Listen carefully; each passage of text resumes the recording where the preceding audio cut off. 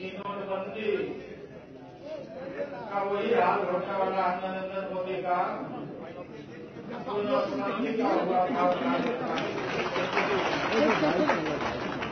जिला जिला करके नरेंद्र मोदी ने कड़ा फाड़ फाड़ करके दोनों हाथ उठा के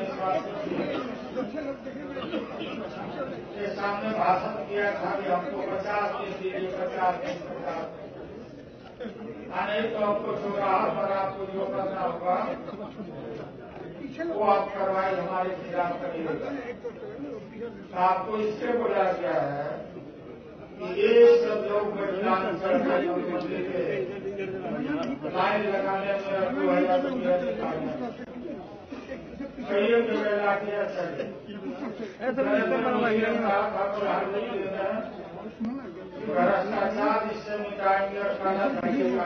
उधर है ना सर उधर। नरेंद्र मोदी के कोल्हू में गरीब किसान मजदूर ने ये भी बड़ा कर रहा है।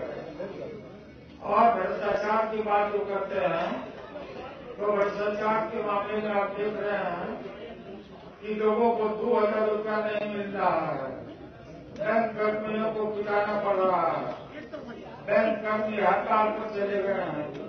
जगह जगह रिज़र्व बैंक के खिलाफ प्रदर्शन हो रहा किसान मजदूर को न खाद मिल रहा न बीज मिल रहा न पटवन का कोई साधन न पैसा ही नहीं है। बैंक खाली है, पचास दिन अब पूरा होने जा रहा है। पचास दिन के बाद चारों तरफ़ से युद्ध शुरू होगा। ये फेल हो चुके हैं नरेंद्र मोदी।